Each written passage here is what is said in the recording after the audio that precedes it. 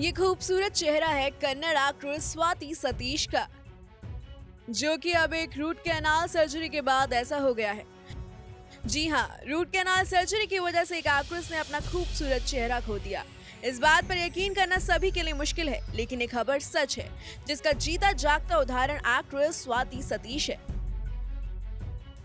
अक्सर ऐसा देखने को मिला है कि फिल्मी सेलेब्स को अपनी गलत सर्जरी का खामियाजा भुगतना पड़ा है। लेकिन स्वाति सतीश को केनाल सर्जरी करवाने के बाद एक खमीजा भुगतना पड़ा है।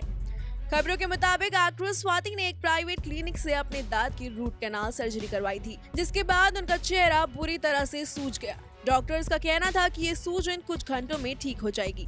हालाँकि अभी भी उनका चेहरा वैसे ही सूजा हुआ है।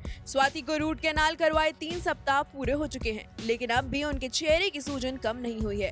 न ही उनका दर्द कम हो रहा है। उनका पूरा हुलिया बिगड़ गया है, जिसके कारण अब स्वाति को पहचान पाना भी मुश्किल हो रहा है। यही वजह है कि कन्नड़ अभिनेत्री ने अब अपने घर से बाहर निकलना भी बंद कर दिया।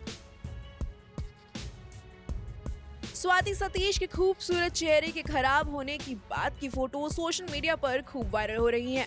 उनके चेहरे की हालत कितनी खराब हो गई है, ये आप उनके इन फ़ोटोज़ को देखकर ही पता लगा सकते हैं। रिपोर्ट की माने तो स्वाति को एनेस्थीसिया की जगह डॉक्टरों ने सेलिसिक्लिक एसिड दिया था, जिसकी वजह से स्वाति सतीश ने क्लिनिक पर मेडिकल लापरवाही का इल्ज़ाम लगाया है। स्वाति के मुताबिक डॉक्टरों ने उन्हें ट्रीटमेंट को लेकर गलत जानकारी दी थी और अब वो क्लिनिक के खिलाफ कानूनी कदम उठाने वाली है।